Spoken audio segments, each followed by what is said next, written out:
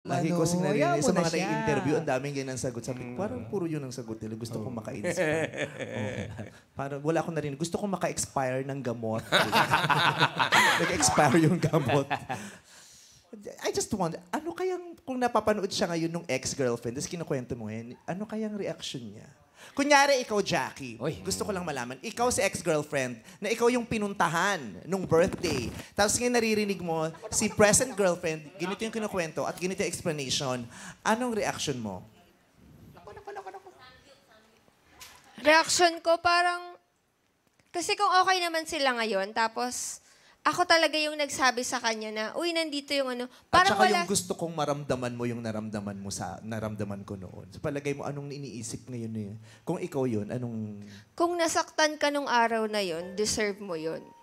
Kasi yun yung naramdaman ko. Kung ako yung nasa posisyon ng girl ha, kung gusto niyang maramdaman talaga yung sakit, parang siguro gusto niya lang, hindi lang siya yung in pain, parang ito yung dinanas ko eh. Ngayon naranasan mo. Sana may matutunan ka dun sa pain na naranasan mo. Hindi sinasabi ni Jackie na yun yung tama ah. Yes. Ang sinasabi niya yung ano, Kung ako yung yung- feeling, feeling niya kung siya yun, yun ang tumatakbo sa isip ng Yes. babae. Kasi sinabi niya eh, na gusto niyang iparamdam yung sakit. So baka ngayon, yun yung state of mind niya. Oo. no. Maramdaman mo din yung, yung ganun. Pero ikaw ba, Jackie, kung sa'yo mangyari yun, gagawin mo ba yung ginawa ng ex? Naiimbitahan mo yung boyfriend niya na ngayon, na ex mo, sa sa birthday Ay, niya? hindi ko i-invite. Ako pag ex na, wala na. Burado ka na, hindi na tayo magkakilala. Parang ano ka na lang, ay, okay. Just ganun a na lang. memory. Yes. Talaga? Yes, Kuya Rai. May ganon. Uy! Grabe yung usapan dito, no? Oo, parang nag-init, eh. no? Parang gusto kong magsando lang na butas-butas yung pang-basketball.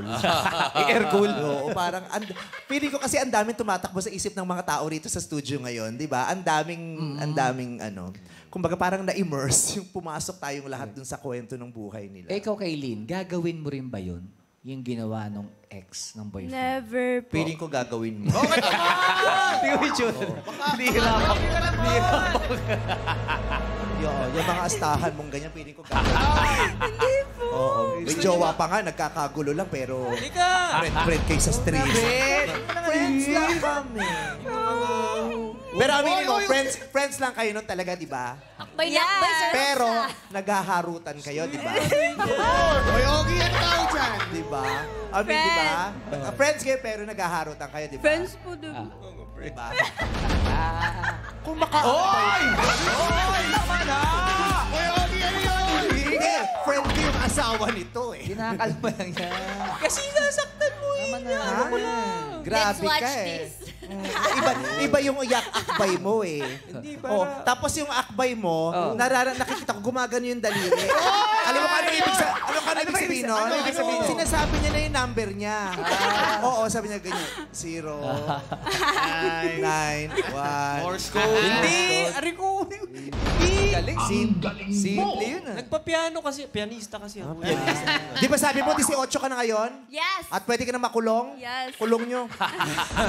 Kulong nyo to. Sabi nga po sa akin ng mga daw. classmate ko, takas preso daw po ako kasi ang dami kong Ang tattoo. daming, ang daming mong tato. Okay. Pero sana maging maayos ang relasyon ninyo. Thank you po. Mm-mm. Tapos sana yung ex-girlfriend, mawala yung pain niya din.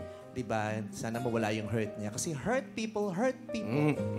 Diba? Yung kaya siya, may mga taong kaya sila na, na- na- nakakasakit kasi sobrang sakit din nung nararamdaman nila.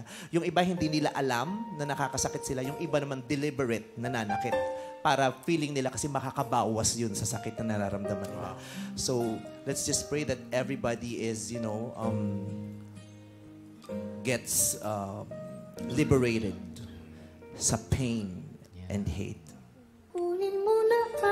Uy! Kala mo siya yayakapin mo. Gumano Kaibigan ko ba yan? Hindi mo kaibigan. Huwag lang ang aking We needed that hug. Oo, yan. Oo. Oh. alam ko. Deep. Kung paibigin siya, Oh. sa akin maagaw mo siya. Ate mo ko. Yo, kami, kami, kami. Usap ko Bakit yumakap lagi doon. Si Vice lang pwede yumakap Ate mo ko, kaya kaya yak. Ito, kumpare to ng ama mo, kaya huwag kang yayakap dito. Hindi mo nga ninong yan.